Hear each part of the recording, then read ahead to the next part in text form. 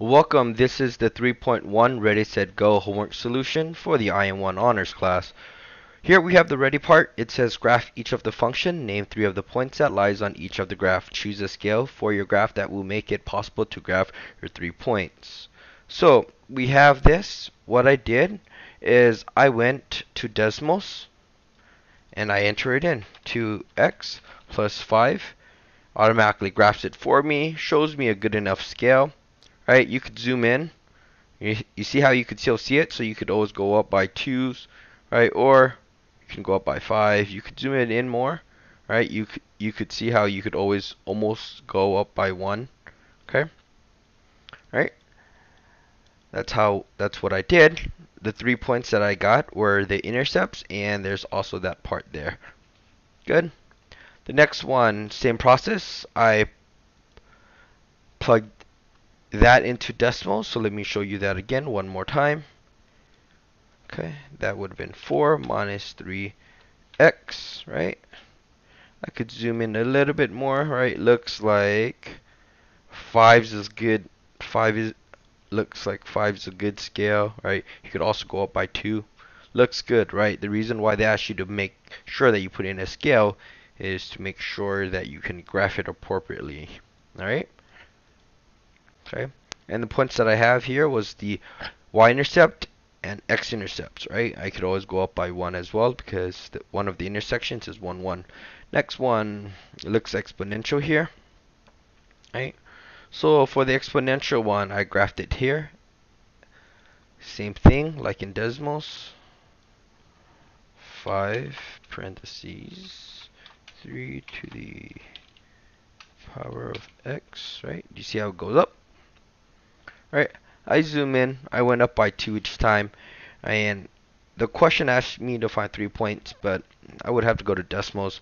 I only found one good point, it was the y-intercept, it was good enough.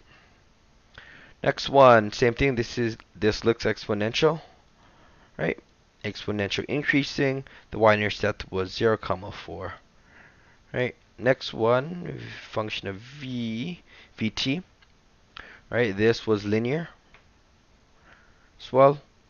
Okay, y-intercept was 0, comma negative 4, and one more of the good points was 2, comma 1.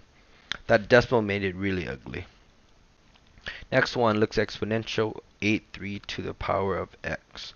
Next section here, 0, comma 8, again because that's the zeroth term, right? Good.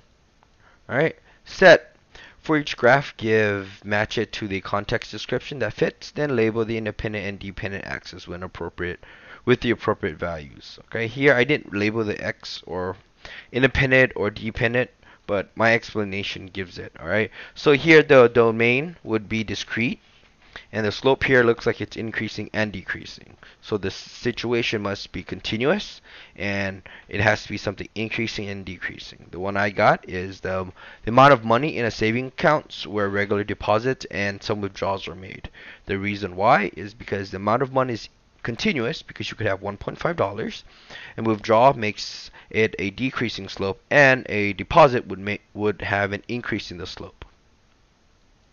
Okay, 8. The domain here is continuous. The slope is increasing. Some parts are flat. And I have E, the amount of mileage recorded on a odometer of a delivery truck over a period of time.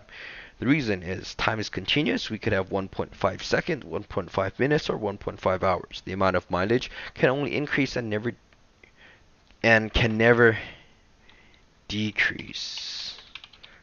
The flat part of the slope is where the truck is stopped while out on the delivery and the time is still passing by. Next one, 9. Alright, this one, right, all I could see here is the domain is discrete and the slope is decreasing, right? I can't really say much here. The answer in the book says it's the oven heat when baking cookies. That answer makes no sense. Okay, so 10. This is um, discrete, and the slope looks like it's increasing, right? So the uh, the contextual description was watermelon D. Watermelons are delivered to a farmer's market every single Saturday. The numbers of watermelon available for sale on Thursday. Right. The reason why is the watermelons are discrete because the watermelons are finite object. Right. You can't have 0.5 of a watermelon. Right. The amount of watermelon for sale is going up uh, for each delivery made. Right. So right here more deliveries here, more deliveries here, more deliveries here, more deliveries here, more deliveries here. I think the reason why it dips here is because like um, maybe some of it got spoiled, right, or some of them was already sold, like so that's why there was a dip here, then more delivery and more delivery. Okay. Uh, next one, this one looks like it is continuous and the slope is decreasing and some parts looks flat. I would say that it will see the amount of gasoline on hand at the gas station before a tanker truck delivers more. The reason why is because gasoline is continuous because you could have 1.5 gallons of it. The slope is decreasing because drivers are coming in and taking gasoline out of the tank at the gas station. The flat part of the slope is where there's no drivers at the gas station. So the gas at the gas station remains constant. Okay. And that looks good. Next, they say Give the pair of graphs on each coordinate grid. Creates a list of similarities um, the two graphs share and a list of the differences. Right. So here you go. That's the first one, number 12. I said similarities, both are more continuous. The slope is both negative, they're going down. Uh, the end behaviors are that they're both tending towards decreasing because, again, they have that negative slope. Some differences. Uh, one is linear, the other one's exponential both the range and domain looks completely different and the x and y intercepts are completely different. 13. Alright, some similarities. Positive slope. Looks like they have the same slope, so looks like they're parallel lines. Their end behaviors are the same. They're both tending upwards or increasing because they have that positive slope and they look linear. Okay. Uh, some differences. One is continuous, one is discrete. Uh, the, this one is continuous, this one is discrete. Uh, they, they have different ranges and domains, and the x-intercept and y-intercepts are completely different. Alright, there you go. Those are two, and the go part now. Alright, it says for each equation, find the value of x that makes it true. Sure, you're basically just solving for it.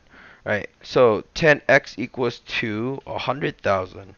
Okay, this is the way the book wants you to answer it, I guess, it, I assume, is guessing and checking.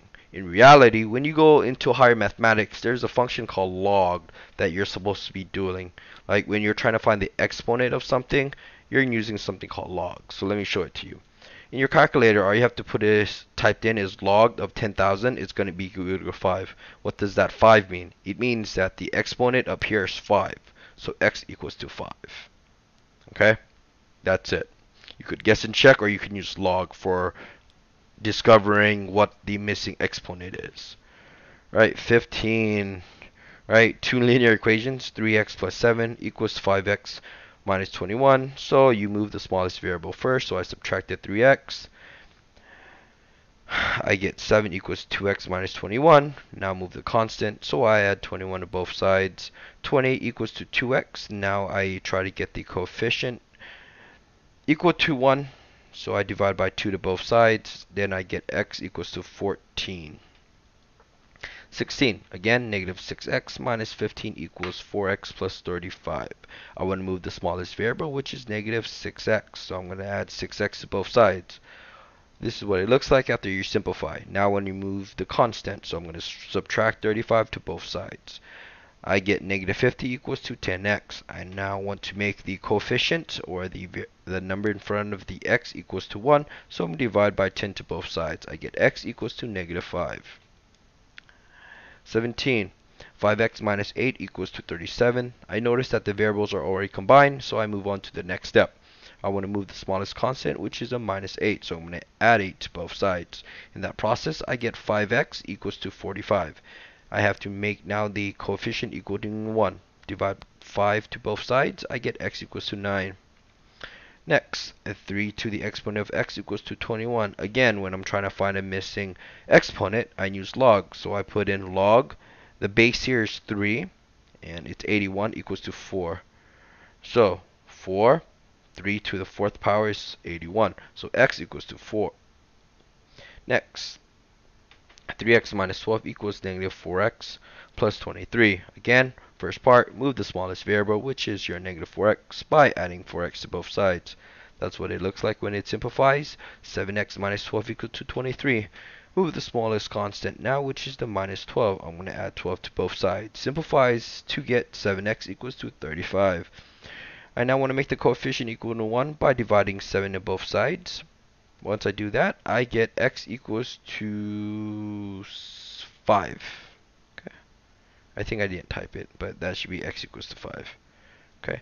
20, 10 equals to 2 to the power of x minus 22. Again, you want to move the, there's only one variable, you're fine. Now move the constants, add 22 to both sides.